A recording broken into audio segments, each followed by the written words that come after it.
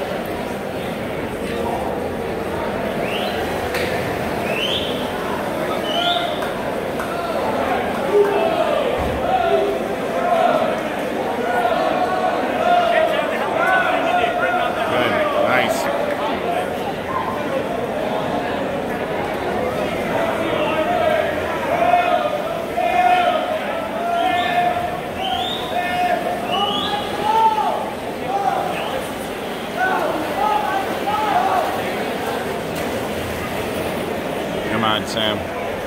Under a minute.